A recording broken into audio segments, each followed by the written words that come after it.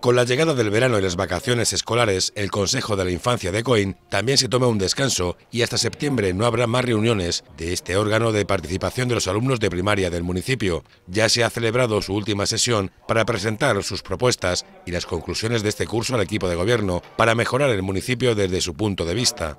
Siempre son propuestas interesantes, que son propuestas que es verdad que, intentamos de llevar a cabo, intentar de cubrirle y bueno, un día también pues cariñoso porque le damos la despedida a algunos que ya abandonan el Consejo de la Infancia porque han pasado su etapa y ya en el próximo curso pues bueno, le daremos la bienvenida. Quiero agradecer sobre todo a los directores de los centros educativos que durante todo el año pues bueno, se hacen responsables de traer a estos niños a las reuniones, como también por supuesto a sus familiares que que, bueno, que, están dispuestos a que sean partícipes de ello y como no, no me quiero olvidar de Mariana Núñez y Antonio Morales, que son los técnicos encargados pues, de estar en las reuniones con ellos durante, durante todo este curso escolar. Los temas tratados durante el curso por los miembros del Consejo de la Infancia han sido variados. Para los representantes de los escolares de COIN es importante sentirse escuchados y saber que sus propuestas serán estudiadas, tanto para mejorar su ciudad como sus centros. Hemos hablado sobre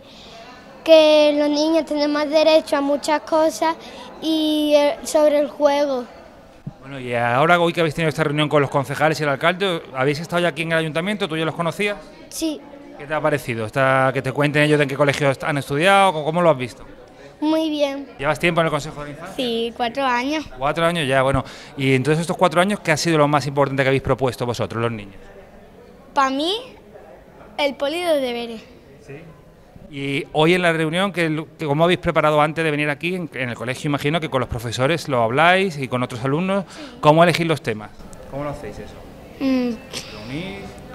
nos reunimos y hablamos de, de propuestas. Decían que en las plazas no se podía jugar y, y, a nosotros, a los niños, no nos parece bien que no se pueda jugar y los mayores pueden estar sentados tomándose lo que quieran.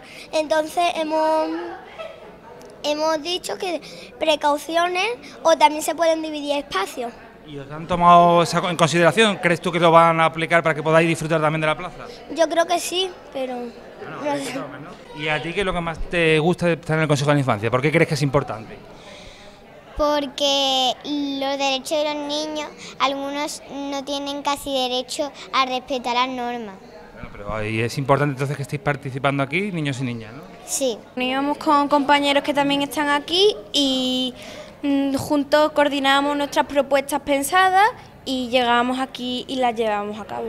Bueno, ¿crees que es importante que lo escuchen al final los que dirigen el ayuntamiento, que son los que toman las medidas, que es importante que escuchen a los niños?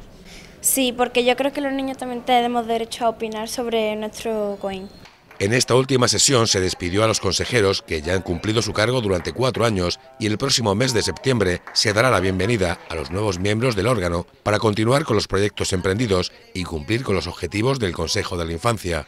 El objetivo de este órgano de participación es ese, que los gobernantes tengan la mirada del niño a la hora de llevar a cabo iniciativas en, la ciudad. De ahí que sea tan importante tener en cuenta lo que ellos opinan, cómo reflexionan acerca del juego, de, los festejos, del deporte, de la sanidad, es decir, de cualquier tema, los hacemos partícipes para que luego ellos vean que su opinión es tenida en cuenta. Por eso es el, hecho de hacer el acto de hoy en el que ellos, las propuestas que hemos trabajado durante todo el curso escolar, se la leen a los los concejales, los concejales toman nota, en algunos casos le hacen puntualizaciones porque a lo mejor no estaban bien informados, en otras dicen, pues mira, esto es algo que nos interesa y entonces es un feedback que recibimos también de la clase política con el objeto de que ellos vean que, que donde están tienen un objetivo y el objetivo es que se les escuche.